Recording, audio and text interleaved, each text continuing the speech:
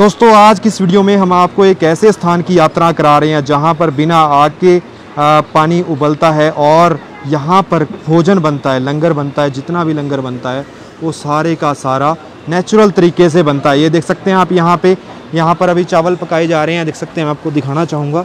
देख सकते हैं, नीचे बहुत ही गर्म पानी है, देख सकते हैं। ये चावल है यहाँ पे और इधर ये चावल है। यहाँ पर आप चावल देख सकते हैं, ये भी चावल है। और यहाँ पर आप देख सकते हैं बहुत सारे लोग आए हुए हैं, चावल और छोले को उबाल रहे हैं। आपको दूसरी तरफ़ से यात्रा कराना चाहूँगा और पूरा इतिहास भी यहाँ का बताएँगे हम। बस थोड़ा सा इंतज़ार कीजिए। ये देख सकते हैं। आज हम पहुँचे हुए हैं मणिकर्ण साहब में। मणिकर्ण गुरुद्वारा साहिब है ये।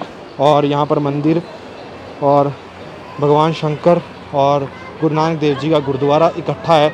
यहाँ पर भारत की कला भारत का कल्चर आप यहाँ पे आसानी से देख सकते हैं। यहाँ पर कुछ लोग हैं।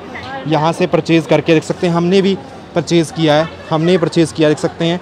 इसमें चावल हैं और छोले हैं।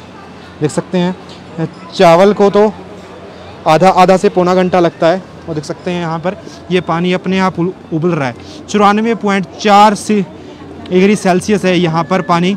यहाँ पर किसी भी तरीके का किसी भी तरीके की आग नहीं लगा रखी है दोस्तों। मैं आपको दिखाना चाहूँगा जो नॉर्मल लैंड भी है ना यहाँ पर अगर आप यहाँ पर भी पाव रखते हो ना गर्म लगेगा आपको। यहाँ पर से चलना पड़ता है आपको।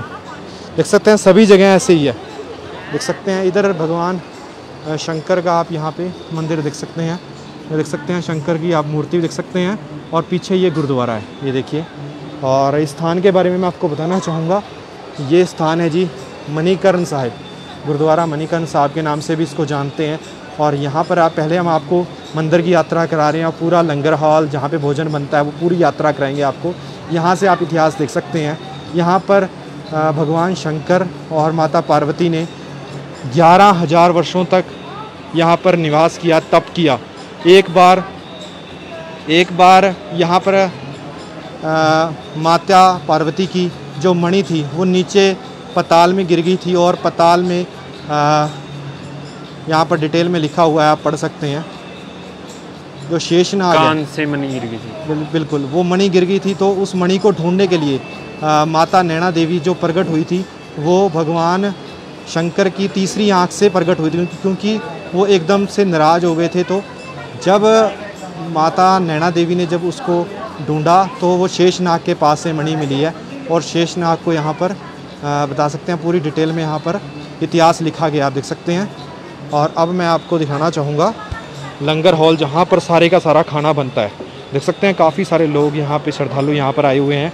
अभी मैंने आपको मंदिर के दर्शन करा देता हूँ। ये आप देख सकते हैं। ये देख सकते हैं मंदिर के दर्शन मैं आपको करवाना चाहूँगा। अगर आप यहाँ का इतिहास जानना चाहते हैं तो मैं कमेंट बॉक्स में अवेलेबल करा दूँगा देख सकते हैं। यहाँ पे मंदिर आप देख सकते हैं, ये मंदिर बना रखा है। यहाँ पर काफ़ी सारे मंदिर हैं और गुरुद्वारा भी इकट्ठा है और सबसे अच्छी बात यहाँ है कि यहाँ की मैनेजमेंट है जो, वो गुरुद्वारा और मंदिर की दोनों ही की इकट्ठी है। ऐसा रूप आपने कहीं नहीं देखा होगा। अब आपको लेके चलते हैं उस जादुई जगह जहाँ पर ये सब कुछ हो रहा है, जहाँ पे भोजन वगैरह सभी चीज़ें बन रही है। बिल्कुल। और गुरु नानक देव जी का भी मतलब भी आपको बताएँगे गुरु नानक देव जी यहाँ पर कब आए देख सकते हैं यहाँ पर? ये देख सकते हैं यहाँ पर पानी उबलता हुआ लोग यहाँ पे चावल और छोलों को उबाल रहे हैं। ये देख सकते हैं। जी और नहीं अभी नहीं। अब हम आपको लेके चलते हैं जहाँ पर खाना बनता है जहाँ पर खाना बनता है देख सकते हैं यहाँ पे। अब आपको हम दिखाना चाहेंगे। ये देख। ये उबल चुका है ना? हमने थोड़ी देर पहले डुबोया था इसमें। इसको हाथ भी नहीं लगा सकते। ये देख सकते हैं। चावल हमारे थोड़े से थे कितने सारे उबल चुके हैं। ये देखिए जी बहुत ही बेहतरीन। ये देख सकते हैं बहुत सारे श्रद्धालु यहाँ पर अपने अपने चावल अपने अपने जो प्रसाद है उसको उबाल रहे हैं। और आइए आपको लंगर सेवा भी यहाँ पर दिखाना चाहेंगे। देख सकते हैं। यहाँ पर पाँव नहीं आप रख सकते इतना गर्म है। ये देखिए। ये देखिए। देख सकते हैं। ये देख सकते हैं आप यहाँ पे। यहाँ पे देख सकते हैं पूरी लंगर की जो सेवा है। गुरुद्वारा और मंदिर इकट्ठी यहाँ पर सर्व की जाती है। देख सकते हैं यहाँ पर चावल को पकाया जा रहा है। ये देख सकते हैं आप कितने सारे लोग यहाँ पर देख रहे हैं। अब आपको लंगर हॉल में लेके चलते हैं। यहाँ पर तकरीबन सारी चीज़ें यहाँ पर पकाई जाती हैं। इसी चीज़ से रोटी रोटी को छोड़ के और एक कड़ी को छोड़ के सभी चीज़ें, चाहे छोले बनाने हों चाहे आपको चावल बनाना देख सकते हैं। जहाँ पर भी आप देखेंगे, धुआँ निकलता हुआ आपको मिलेगा। ये पृथ्वी पे एक ही स्थान बताया जाता है जहाँ पर ऐसा है। पॉसिबल है, बाकी मेरे को जहाँ डिटेल नहीं है। तो ये लंगर हॉल आप यहाँ पे देख सकते हैं। यहाँ पर पूरे का पूरा लंगर और यहाँ पर पूरा सर्व किया जाता है लोगों को।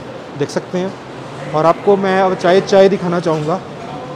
चाय यहाँ पर बनती है। वो आप दृश्य आपको दिखाना चाहूँगा। देख सकते हैं, इधर लोग चाय पी रहे हैं। देख सकते हैं, ये चाय है यहाँ पे। देख सकते हैं नेचुरल नेचुरल गर्म है यहाँ पे। नेचुरल तरीके से चाय बनती है।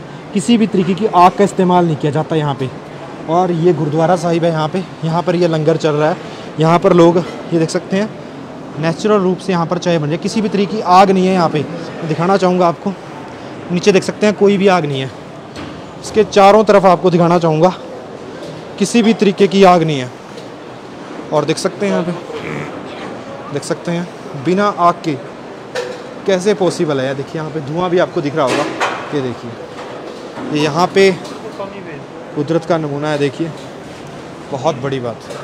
और इधर आप देख सकते हैं, लोग चाय का सेवन कर रहे हैं। ये गुरुद्वारा साहिब के भी अब मैं आपको दर्शन दिखाना चाहूँगा।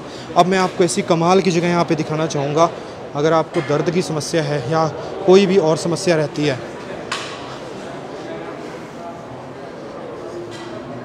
एक ऐसी हॉट केव हम आपको दिखाएँगे।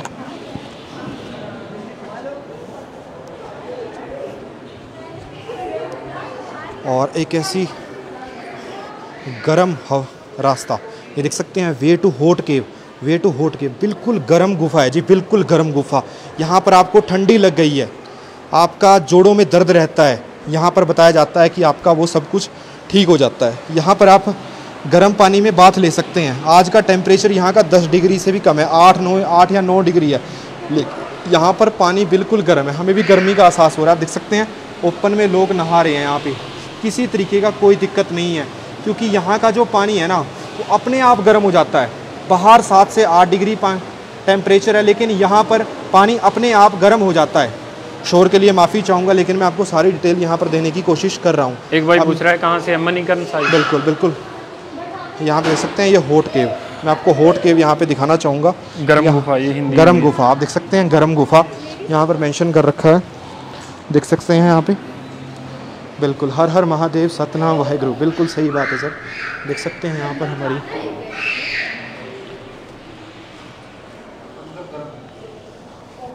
ये है भूपिंदर भाई होट केव। गर्म है वाक्य में ना।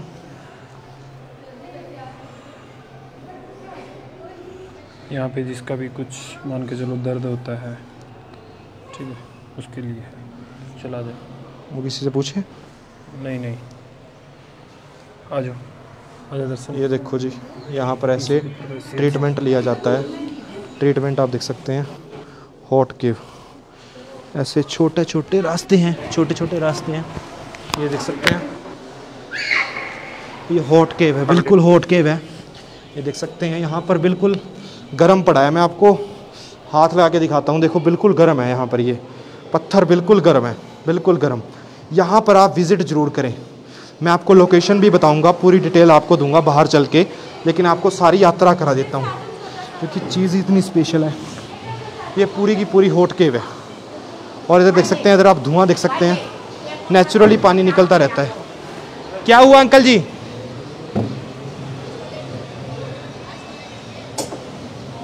यहाँ कोई दिक्कत आई थी आई थिंक अब आपको मैं गुरु नानक देव जी का यहाँ का इतिहास बताना चाहूँगा। गुरु नानक देव जी यहाँ पर पंद्रह सौ चौहत्तर ईस्वी में आए थे और उन्होंने यहाँ पर आ, मीठे पानी का स्थापना की थी। उनके बाला और मर्दाना दो उनके शिष्य थे। उनको खाना पकाना था। तो खाना पकाने की व्यवस्था उन्होंने यहाँ पे की थी हॉट वाटर से। और यहाँ पे देख सकते हैं बहुत सारे श्रद्धालु आते हैं। अब आपको बाहर लेके चलते हैं। बाहर से दृश्य दिखाना चाहूँगा। बाहर से दृश्य भी बहुत ही बेहतरीन है। ज़्यादा आवाज़ में हम बोल नहीं सकते हैं, लेकिन आपको यहाँ से बिल्कुल प्रूफ हो जाएगा कि यहाँ पर कैसे काम होता है। देख सकते हैं, लोहे का पुल है, यहाँ पर लोग फ़ोटोज़ वगैरह ले रहे हैं।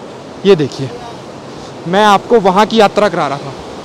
वहाँ की यात्रा करा रहा था मैं आपको। ये देख सकते हैं, वहाँ पर पूरा नेचुरली हॉट है। ये देखिए, पहाड़ों के बीचों बीच है।